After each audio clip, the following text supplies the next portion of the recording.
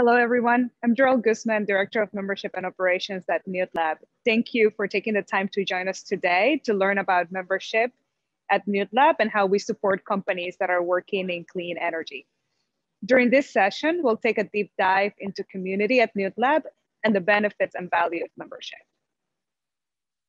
For those of you who are joining us for the first time, Newlab is a community of experts and innovators applying transformative technology to solve the world's biggest challenges.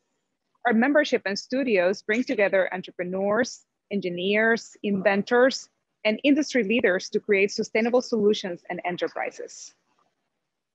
We employ technologies including robotics, AI, and material science to transform what matters most, health, environment, media, cities, and infrastructure. Let's start with having a closer look at our community.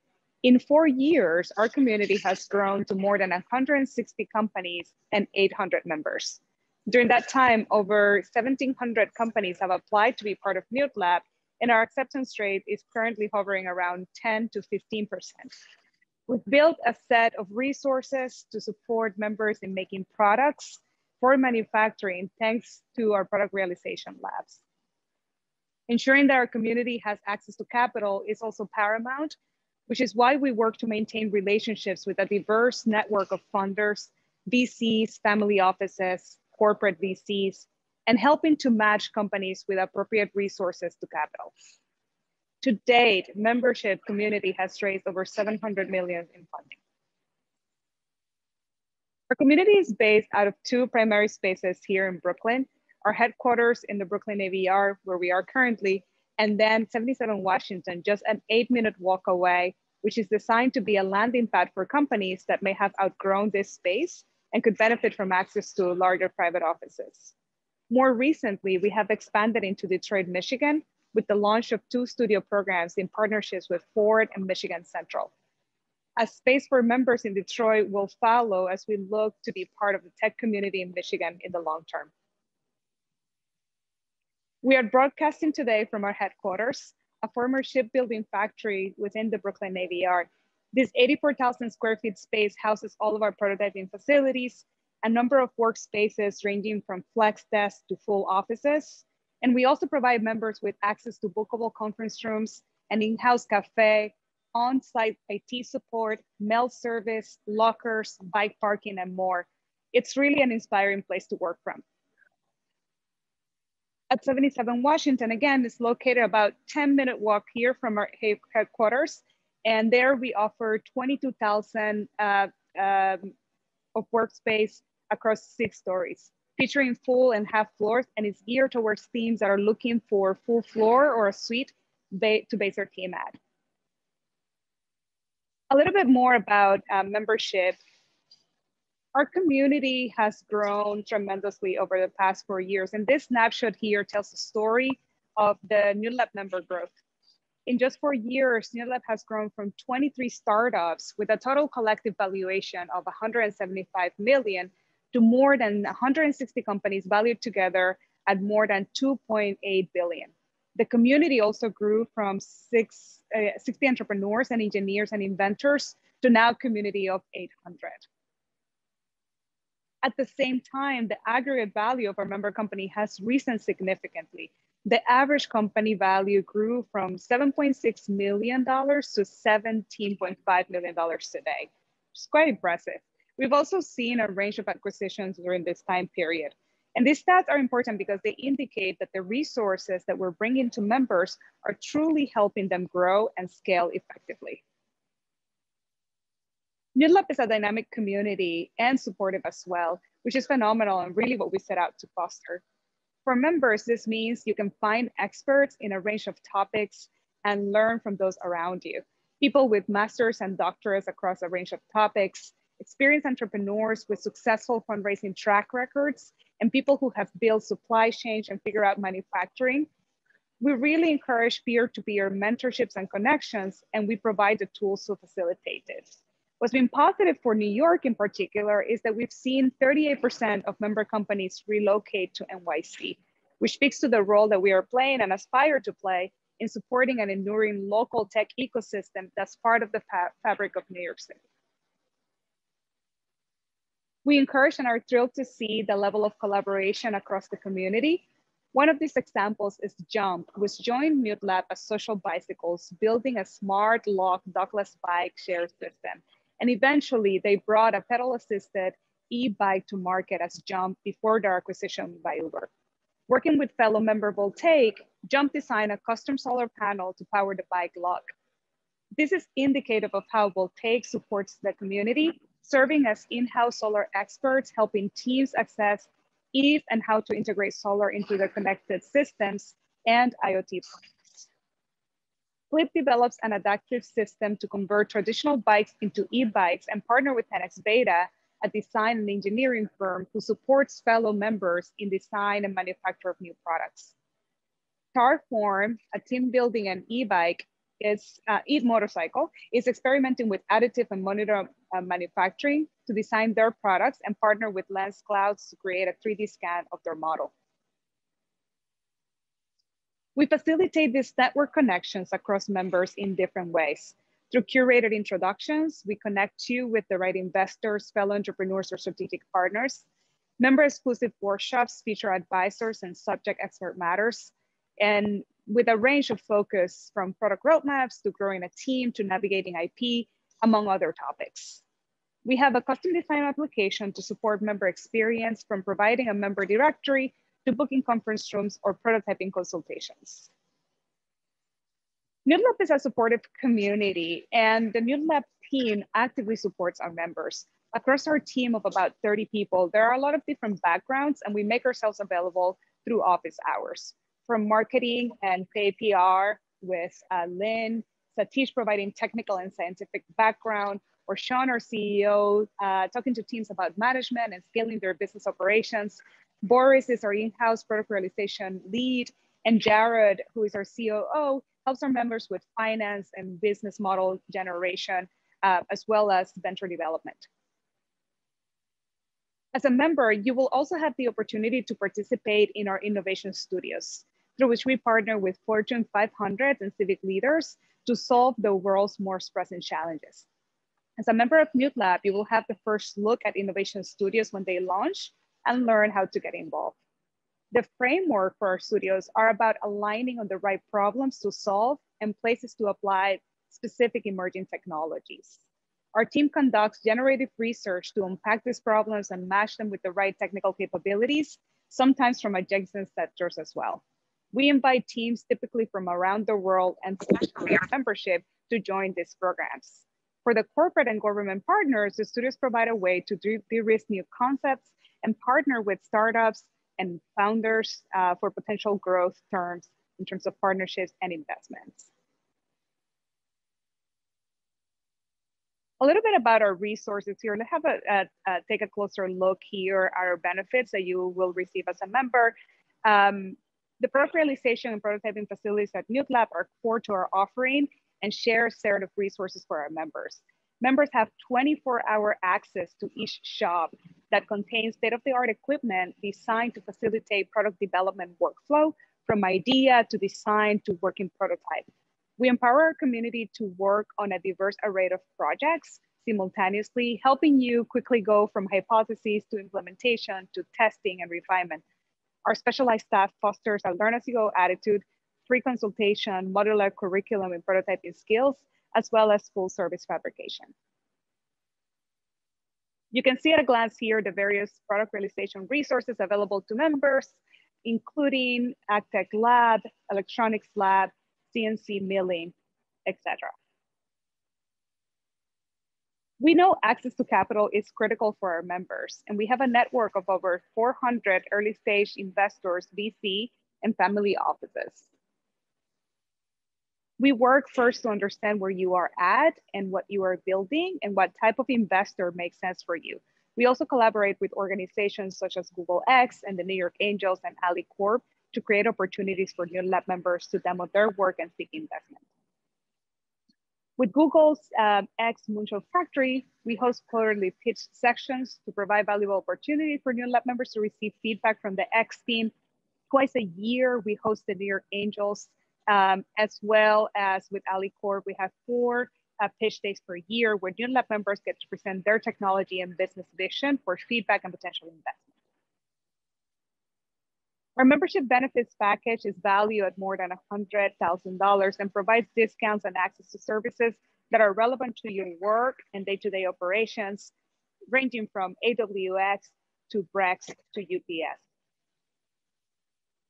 So at this point, we are hoping that you're considering joining the New Lab community. And we wanted to focus a little bit on um, all of the, uh, what we look at uh, specifically in terms of membership. So in terms of the application review,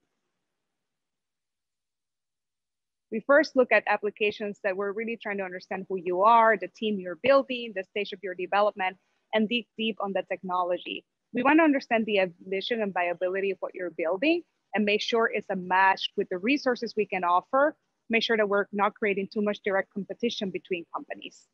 We also consider your point of view on potential impact of your technology as it scale. And finally, we look very closely at social responsibility. If there is a sense of social responsibility in what you're building, we're definitely interested.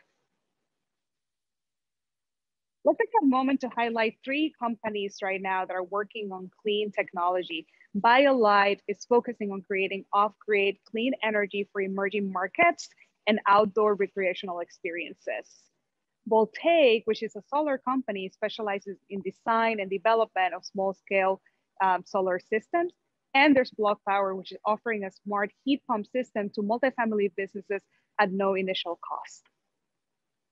And now I'm so pleased to introduce Pietro Filardo, the founder and CEO of Pliant Energy, which conceptualizes, patents, and develops highly novel technologies in the field of marine robotics, propulsion and energy generation and pumping.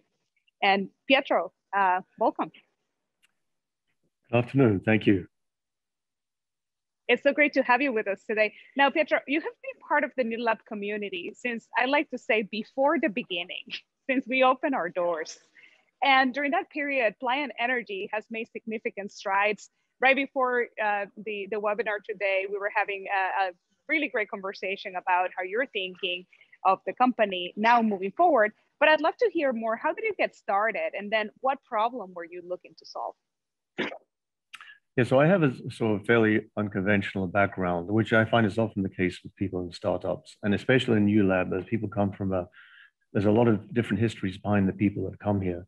Mean, in my case, uh, I had uh, studied marine biology, I had a marine biology degree, uh, then I uh, studied architecture and I had a career in architecture, but I, I had always been thinking about certain, while studying my marine biology career and spending a lot of time in and around water, I thought a lot about how to harness the power of water. So there were some ideas that had still been in my mind during my architectural studies and career that never went away. Uh, so I decided to um, I decided to put some more thought and file some patents. To my surprise, got the patents.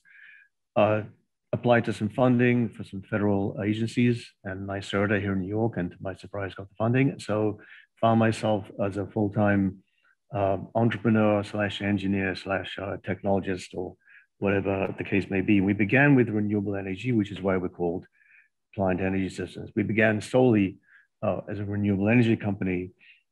Uh, and the, the, essential concept, um, the founding sort of philosophy was um, looking at uh, harnessing flows of streams and rivers without dams. So dams are very hmm. effective for hydropower, but they're cost they quite they're expensive. There's a big carbon footprint for dams. Um, there's fewer and fewer places where dams can be installed. Um, and there's you know fish migration. There's a variety of issues with them. Even though hydropower is a very good source of clean energy overall for the world. Um, so how to how to harness the flow of, of rivers? Uh, people trying to do it in the past, uh, and same thing with waves, by the way, with ocean power, uh, is that the mechanism works until it breaks. And in, in, a, in a dammed hydropower situation, you control the flow. You store the water and you let it flow exactly where you want it at the, speed you want with nothing, you know, no logs or anything in it. With undammed hydro and with wave energy, you're at the mercy of nature to an extent that makes it very hard to develop a physical device that um, that can survive the extreme events, such as a storm, mm. uh, or survive uh, you know, a tree trunk coming along. If you have a, a bladed system, you know, wind turbines, um, they do get hit by birds, and I suppose they could hit by a plane, but a, a, wind turbine is up there in the air, free and clear. And unless there's a tornado, it's unlikely to be struck by any significant object. So in a river, it seems like a great place to put an underwater uh, turbine. And there are some great work being done by people that are still working on this and doing some great work, Verdant Power being one of them, being pioneer.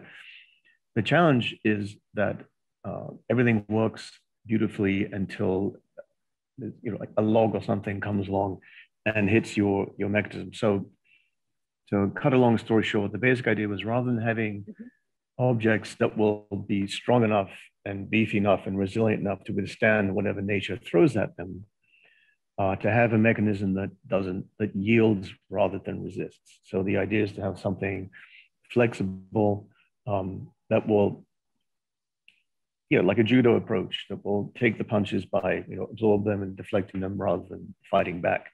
Uh, and so that led to some of the early uh, implementations of the energy harnessing uh, prototypes that we've seen here. There's a the Redfin uh, of, uh, mechanism is a, is a energy um, harnessing electricity generator in that case. Mm-hmm. Um, uh, and we were originally going to use a type of material called a dielectric elastomer. Um, now it's a little more conventional. The mm-hmm. energy harnessing technology we developed that worked uh, turned out to be very useful uh, for propulsion, just as a, a wind turbine is sort of the inverse technology to a, a fan, fan consuming energy to, to create, uh, to move fluid, air, turbine harnessing moving, moving air to uh, generate electricity. So the energy harnessing fins that we developed are also very good at propulsion. So we ended up developing with support from the from the U.S. Navy. We ended up developing this robot prototype vehicle, Velox. Um, and not only are the fins very good at creating thrust, they make very good thrusters, but the fins uh, also give the robot amphibious capabilities, which no other vehicle uh, of its kind has that we're aware of. And as you saw, ice skating ability. So it's a very versatile machine um, that we were, we're about to start another round of funding with the, the Office of Naval Research to, um, to give them something that can look for unexploded on mines and ordnance in the in the in sand in in sand beaches and where the where the waves meet the shore where you generally can't send a an underwater robot without it risking getting stranded. So what the green fin machine here is, uh, this is actually a pump. So there's no electricity involved in here. And this one is being funded by uh, the Department of Energy. We're in a phase two SBIR right now. So it's much simpler than the robot, much simpler than the electricity generator.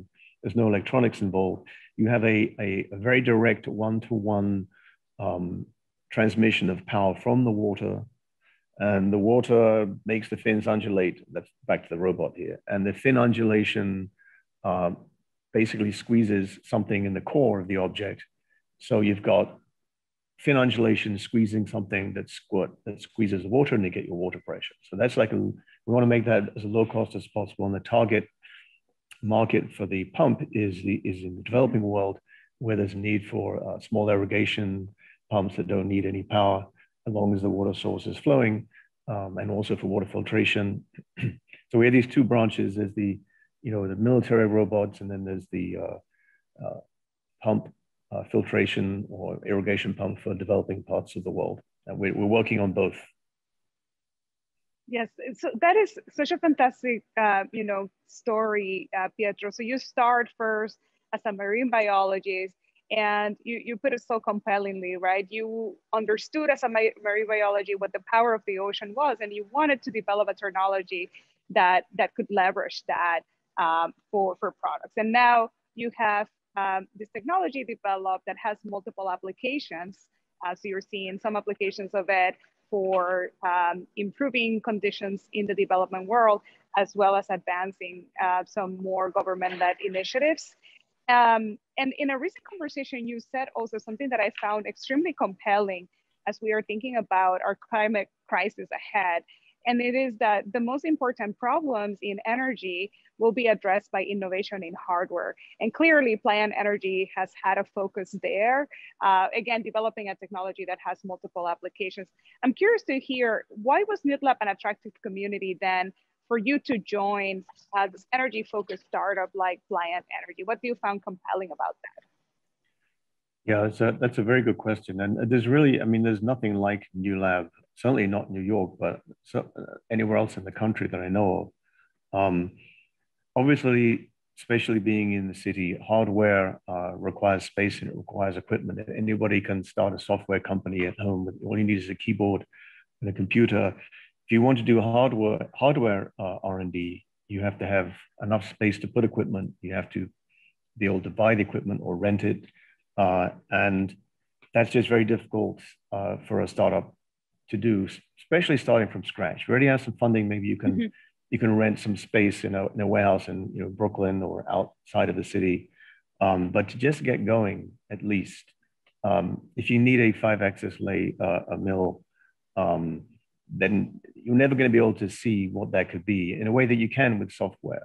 Um, and you know, regarding hardware being the answer to the renewable energy challenges that we have, the energy mm-hmm. challenges, certainly, I think it, it, it, it's energy is, is the physical world, right? It's not a digital thing. It's not information. Energy it's a very raw thing, and it requires materials or it requires motion.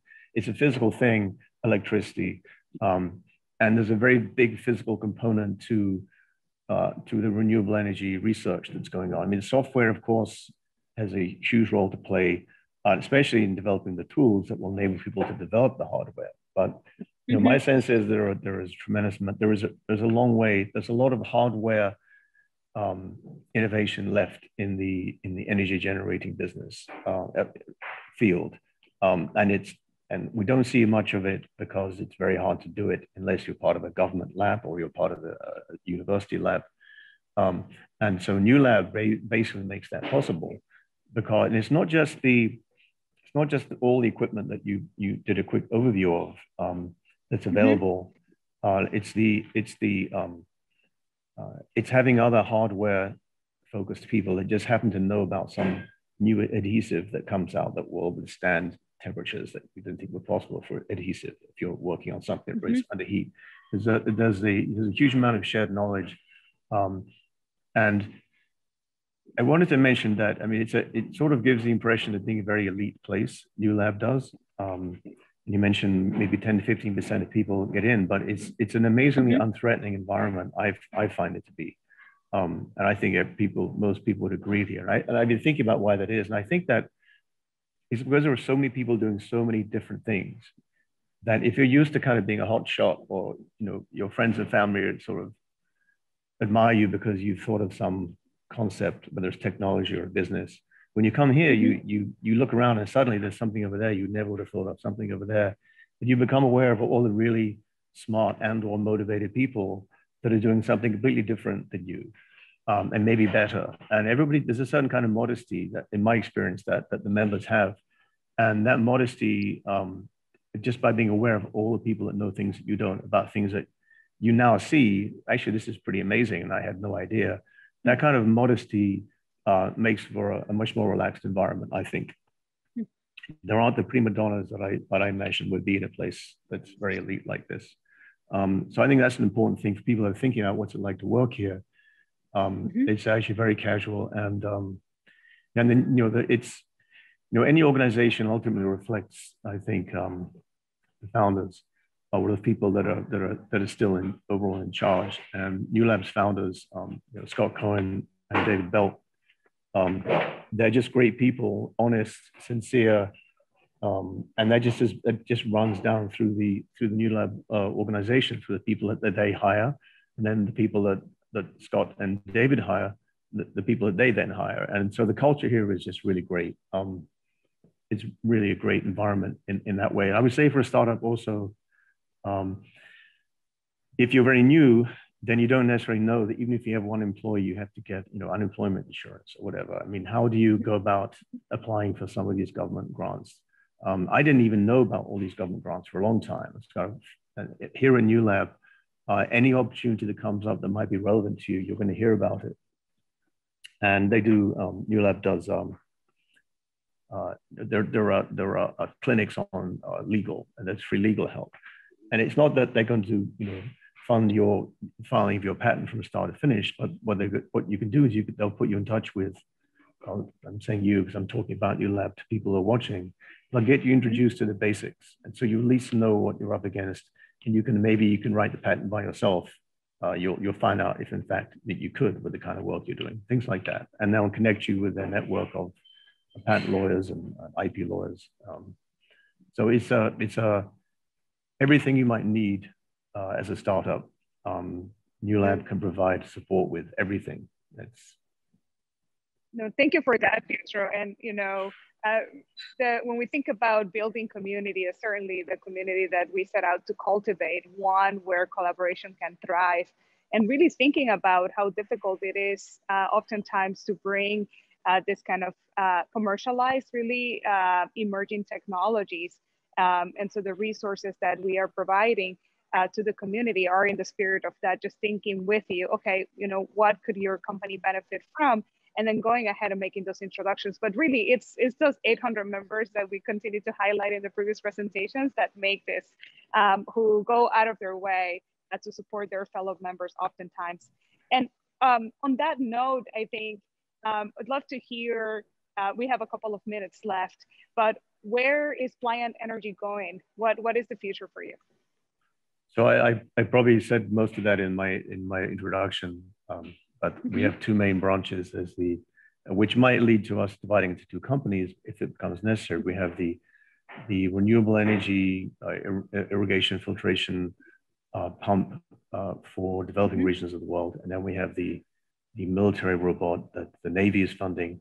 That is, you know, they have the Navy Sea. They have special operations in mind for it.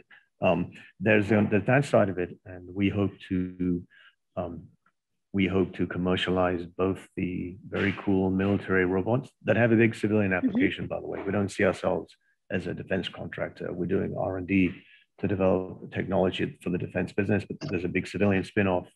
Um, the fact the robot can go over mud means that it's going to be very good at, at sewer inspection, for example. So it can swim mm-hmm. and crawl and glide and it's not a very glamorous role for it, but I think it could end up being, um, being a very important one. Also, you know, coral reef restoration, seagrass uh, restoration. Um, it doesn't have spinning blades, so it doesn't get tangled uh, in weeds and seagrass and mangroves and so forth. So, you know, we, we've done years of R&D, basic research really, uh, and then applied research. And we, with this robot, um, the new robot, Sea Ray, we're going to we look looking to have a commercialized vehicle within two to three years. That is amazing. Again, just to hear kind of the breadth of potential applications for the technology that you have developed through research uh, and R&D all these years. And uh, with that, then uh, we want to bring the this session to a close. And I just want to invite everyone again who's joined us today um, if you're interested in membership, to go ahead on our website, newlab.com slash membership um, to submit your application. If you're working in clean tech um, and to see the value of being part of the NewLab community, uh, we can certainly help. You, you'll get to meet people like Pietro who joins us today. Um, and also if there are other questions that you have, you're curious uh, to learn more about membership aspects that perhaps we didn't cover today, you can also reach us at membership at newlab.com. Thank you so much, Pietro, for your time, and uh, we will be connecting again uh, soon. And thank you again also to everyone who joined us this today. You're very welcome. Nice to see you.